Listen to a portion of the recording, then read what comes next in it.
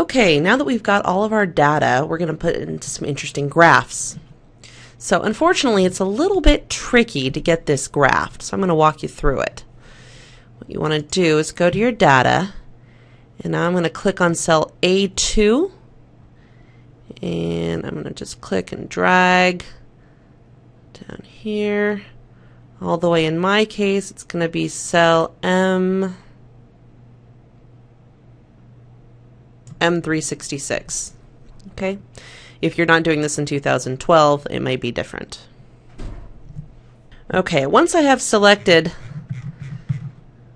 cells A2 through M366, I'm going to go to the Insert tab on the ribbon, go to the Line button, click Line, and then choose the very first option.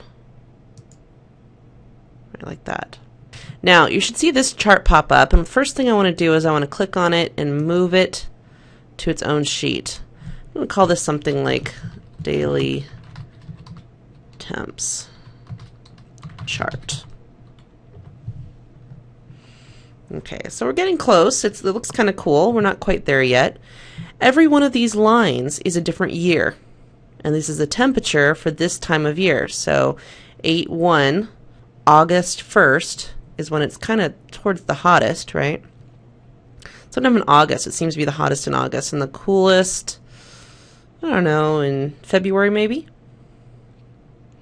It's kind of hard to tell. So the first thing we notice is that our years are not labeled properly, right? The lines, each line represents a year, but our legend doesn't label them right.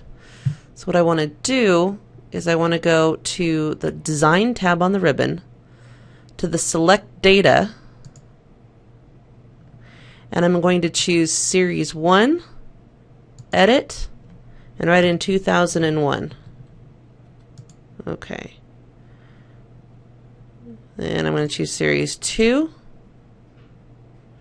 Edit, 2002. And you're going to want to walk through this, changing each one of these to the appropriate year.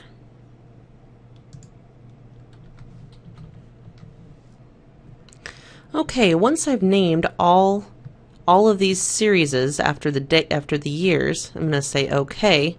And notice on our chart now there's the corresponding legend. It's not very easy to understand because there's so many different lines here. We can't really keep track of what's going on. But for example, you can see that right here this orange line seems to this dark orange line seems to have been the hottest year like hottest temperature ever. And that dark orange line is 2006. Okay, that's I don't know. We can we can learn some things about it. It was clearly this purple line at the bottom. Um, seems to have the lowest temperatures. That was 2010. So we can we can still see some of it. Now what we want to do is we want to um, edit our uh, labels. So I'm going to give this a chart title. Name it something like daily I'm going to add some axis titles.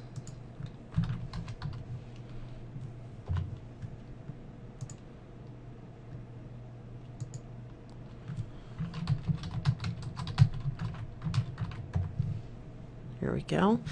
But this is a little bit hard to see because we're starting at zero degrees on our axis here, and that doesn't isn't very useful.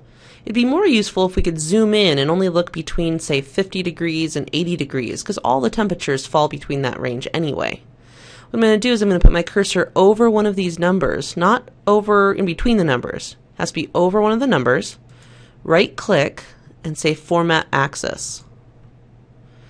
And then I can come in here and say I want the minimum to be fixed at 50 and the maximum to be fixed at 80 close. There we go. And we're going to see a lot more, uh, it's going to be look a lot more interesting like this.